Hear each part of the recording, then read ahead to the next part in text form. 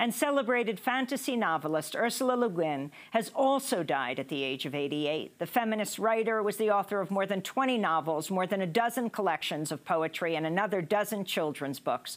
Among her most famous works was her 1969 novel, The Left Hand of Darkness. It's set on a planet where people are ambisexual, neither male nor female, and contains one of the most famous sentences ever written in a fantasy novel. The king was pregnant. Ursula Le Guin's 1974 novel, The Dispossessed, is also one of the most celebrated explorations of utopia, dystopia, capitalism, anarchism, and oppression.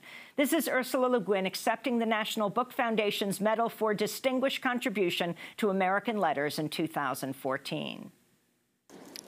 I think hard times are coming when we will be wanting the voices of writers who can see alternatives to how we live now and can see through our fear stricken society and its obsessive technologies to other ways of being. And even imagine some real grounds for hope. We will need writers who can remember freedom, poets, visionaries, the realists of a larger reality. We live in capitalism. Its power seems inescapable. So did the divine right of kings.